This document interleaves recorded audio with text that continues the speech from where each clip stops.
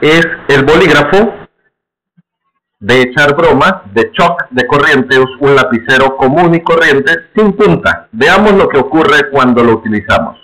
Caballero, por favor, filme.